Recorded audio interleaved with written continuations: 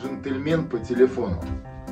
Дорогой сэр, поскольку моя секретарша дама, я не могу продиктовать ей, чтобы она написала те слова, которых вы заслуживаете.